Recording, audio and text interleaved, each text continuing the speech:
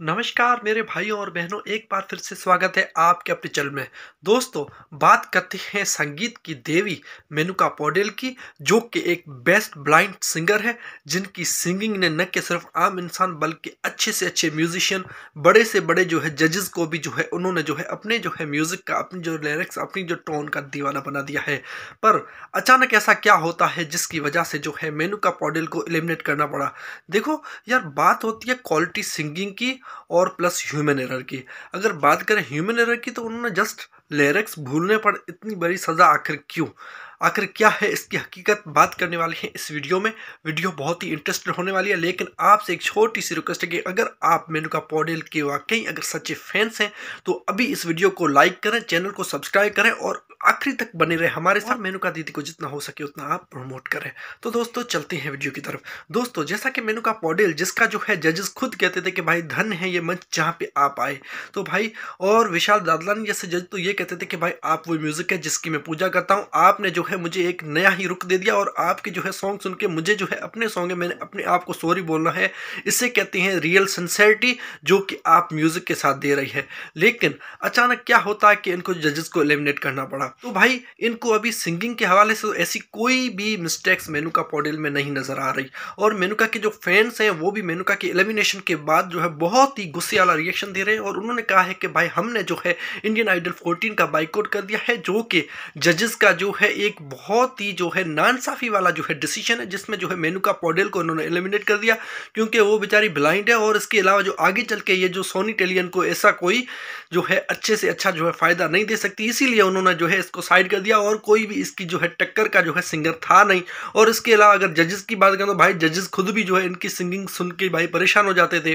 अगर बात करें श्रेया घोषल की तो भाई इनके सॉन्ग सुन के रो जाती थी और इन्हीं के सॉन्ग जो है जैसे मेनू का पॉडल गाती थी, वो श्रेया घोषल खुद भी नहीं गा सकती थी। और इसी तरीके से यार विशाल दादलानी है, भाई एक से एक सारे जजेस हैं जो कि इसको मानते थे और इनकी सिंगिंग की वजह से इनकी पूजा करते थे।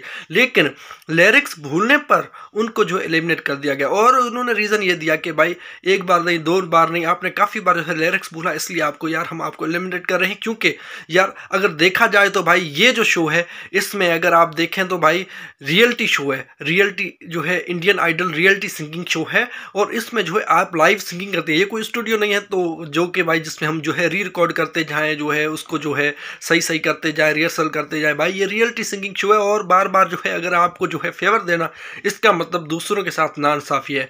अरे मेरे भाई आप उनकी सिंगिंग की क्वालिटी चेक करें आप उनकी टोन चेक करें आप उनके जो है सास जो है वो आप चेक करें आप उनकी जो वे ऑफ़ सिंगिंग चेक करें आप उनकी आवाज़ चेक करें न कि ये ह्यूमन एरर के भाई वो एक लाइन भूल गई। ठीक है यार बंदा अगर टिपिकली जो है अगर जाता है बंदा कभी किसी प्रेशर की वजह से जो है एक लाइन भूल ही जाता है, इसमें कोई इशू नहीं। लेकिन अगर उसकी क्वालिटी सिंगिंग में कोई फ़र्क है, फिर मेनू का पॉडल को एलिमिनेट किया जाता तो एक थी भाई रियल जीनियन बात।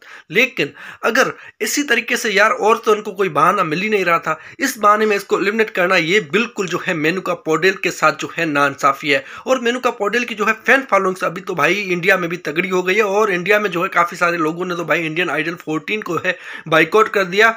और यहाँ पे भी यार अच्छे से अच्छे कमेंट्स लिखते हैं, जो कि मैं आपसे शेयर भी करने वाला हूँ। और यार, आप भी जो है, अगर मेनू का पॉडल के सच्चे फैंस हैं, आपको क्या लगता है मेनू का पॉडल की एलिमिनेशन को लेके ये कैसा डिसीज़न आप भी कमेंट सेक्शन में मैंशन ज़रूर करें।